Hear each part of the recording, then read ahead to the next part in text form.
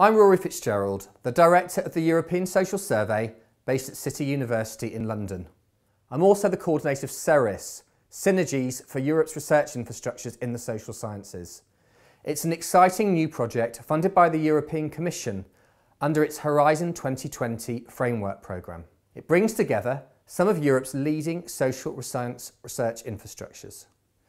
These include the European Social Survey, the Survey for Health, Ageing and Retirement in Europe, known as SHARE, and. CESSDA is the organisation which brings together data archives in Europe. Together, these three leading infrastructures are joined by others such as the Wage Indicators Survey, the Generations and Gender Programme, and the European Values Study, who together are some of Europe's other main social science infrastructures. SERISS aims to reduce the fragmentation and lack of harmonisation between those infrastructures so that they're better placed and able to identify and deal with some of Europe's grand societal challenges. These challenges include migration and immigration within and between European countries, but also include climate change and energy use, the challenges of an ageing society, and the difficulties faced by the young, for example, as a result of the economic downturn and crisis. Together, the social sciences are able to provide answers to some of these challenges and help policymakers and others to better understand how to deal with them. However, at the moment, there is too much fragmentation, too much difference in methods between how the social sciences are actually conducted across Europe and how the data itself is then pulled together at the end.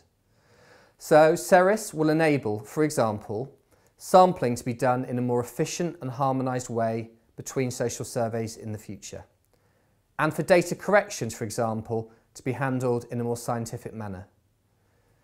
We'll be looking to how we can use the power of web surveys to make data collection cheaper and more comparable in the future, but in a considered and effective way, rather than rushing.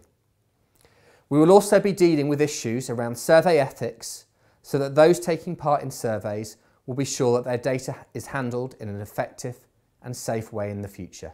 These are just some of the issues that we'll be looking at in the SERISS programme over the next four years.